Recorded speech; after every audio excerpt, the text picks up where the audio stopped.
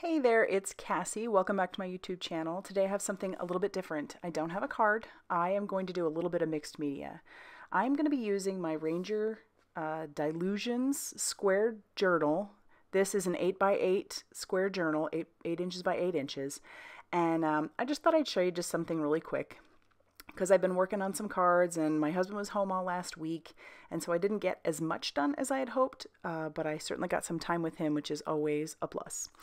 So what I'm starting off by doing in this journal is I am going to take some washi tape and I'm just taping down a square. I just want to mask off a part of it. And so I'm going to use some titanium buff golden fluid acrylic paint and um, I'm going to put it right onto my page. This is a super simple page.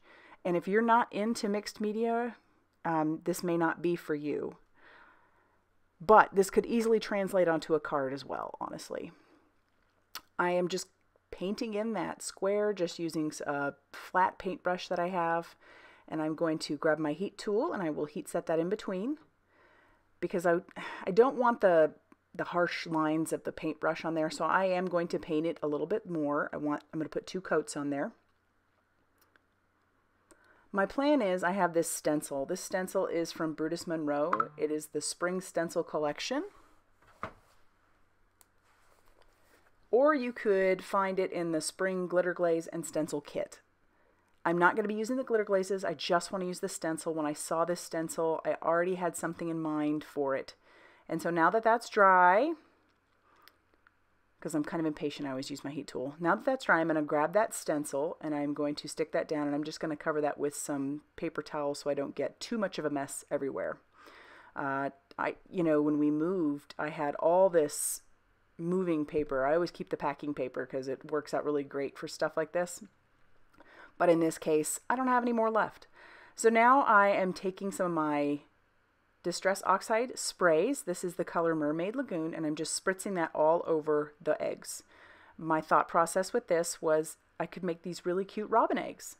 And that actually, the spray worked so much better than I thought it was going to do. I love the blue speckles.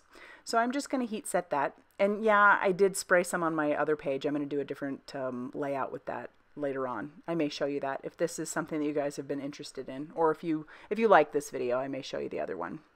Now I'm just going to use some distress paint in the color Espresso and I'm stippling that through the stencil. It, this paint is a little bit um, watery, I suppose, is the best way to describe it.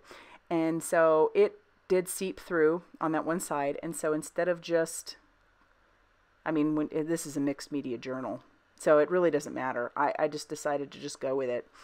And the other thing is, the fun thing about journaling like this is that you can play around and you don't really have to worry about how it's going to really look because it's your journal and that's the fun of it.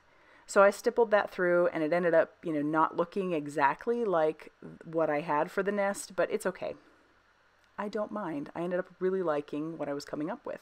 So now I'm going to put that stent, the eggs right back over the top and I'm going to take some of that brown paint and I'm going to splatter that to make, make it really look like some spring robin eggs.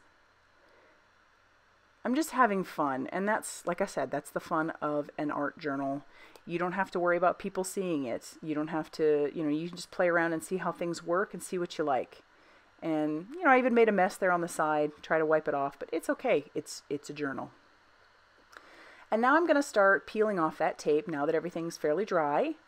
And, um, you know, the heat did make that tape stick a little bit more than I would have liked it to, but it's okay. Um, I end up deciding after I see all the tape peeled off that I actually didn't I mean, I wouldn't have used this particular tape anyway.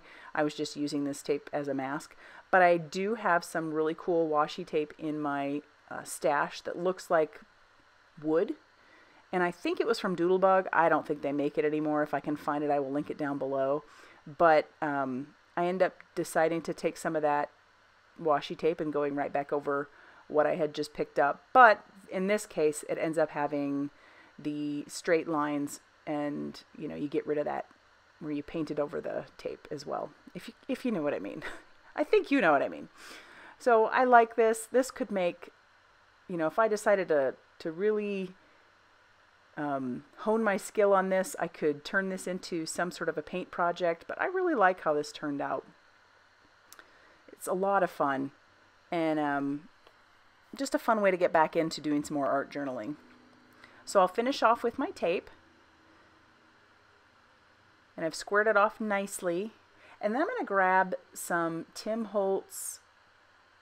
Uh, I can't even remember what they're called. So, but what I, I, will have them linked down below because I know they have them at like Joann's and um, they may have them at Hobby Lobby. I'm not sure, but I know I found them online. It's these little tabs. Basically, they are chipboard and there's so many in there and i think i got them for like four or five dollars. It was just it's insane and i i will clearly be using these like crazy. So i just you know rifle through those find the one i want and then i'm going to stick that down with a little bit of glue just some tacky glue and i'll let that set that off to the side to dry. So super fun super simple easy just quick mixed media page. I'd love to know what you guys think. Is this something you guys like seeing? Is it um, not something you want to see so if you liked this video, go ahead and hit that like button and subscribe if you haven't done so. And as always, thanks for stopping by.